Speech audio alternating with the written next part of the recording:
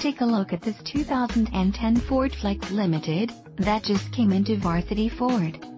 This four-door SUV comes equipped with navigation system with voice activation, Bluetooth, R, wireless connectivity, video player with DVD and provides you with a sense of security with its safety features, including four-wheel ABS brakes, front ventilated disc brakes, first, second and third row head airbags and more.